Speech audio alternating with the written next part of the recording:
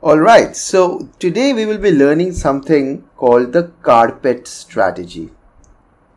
It is from geometry for Maths Olympiad, but it is also used in other parts of contest mathematics like ISI entrance, CMI entrance. The idea is this. The idea is this that look at the overlap so what do I mean by that?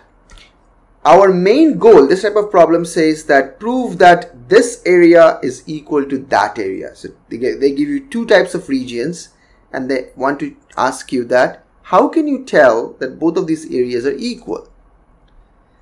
So I'll give you an example. That's the best way to learn this.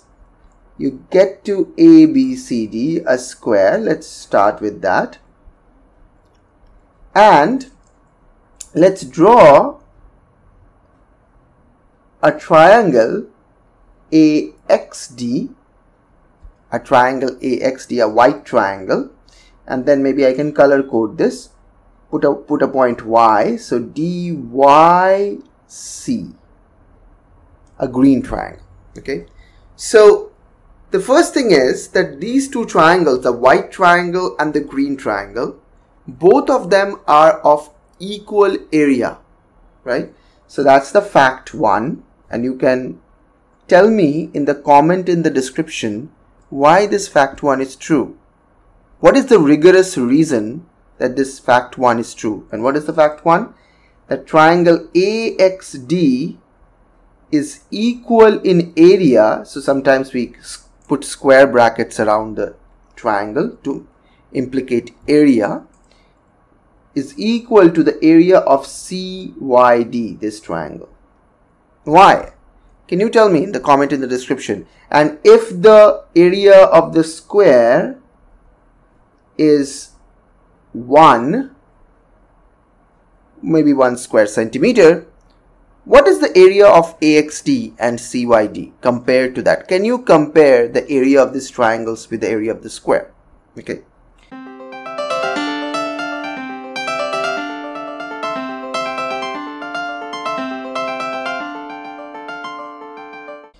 So I will not prove it here because it's a sort of a preliminary path, uh, thing in geometry. So I want you to think about it. Okay. All right. So now we will be shading two regions of these uh, in this square. So one region is this. So one region is blue. So let's say a region is blue and this one is a, also a blue region so I will just color them both as blue. And I'll color two red regions so maybe I can use a thicker brush. Okay here we go. A red region. And here is a red red region okay. So the question says that the red region is equal to the blue region. So this is our goal. Oops, still using the thicker brush. This is our goal. So the show that red is equal to blue. Okay. And surprisingly enough, this problem does not require you to work with the area formula. So you really don't have to physically find out the area of the red region and the blue region.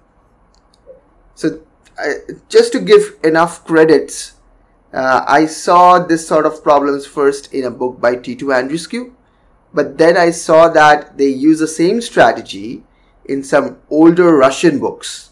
So this is probably known for centuries. This and this is very intuitive. So that's not surprising at all.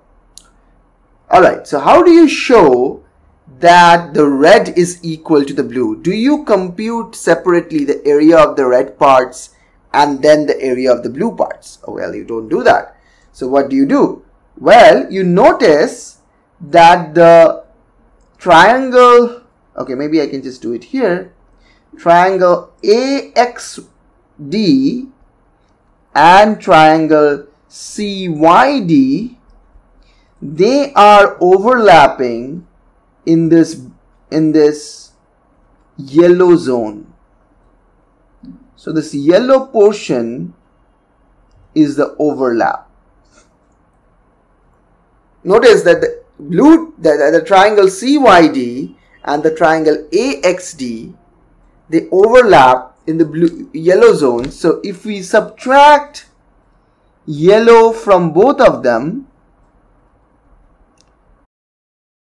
whatever re remains still remains equal, right? Because AXD's area and CYD's area were initially equal. That was the fact 1. Now from both of these equal quantities, I am subtracting the yellow region, that is the yellow area, area of the yellow region. So it still remains equal. Now notice that AXD minus the yellow, this is just red. And CYD minus the yellow, that's blue. That's it. So that's why the red and the blue regions are equal. So this is the carpet strategy. It's a very simple, intuitive and beautiful strategy in geometry. You can also create pictures.